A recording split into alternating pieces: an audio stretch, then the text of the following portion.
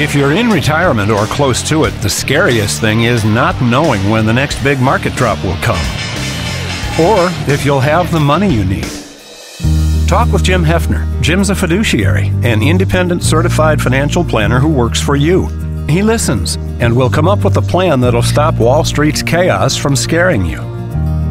Jim Heafner. You'll just know.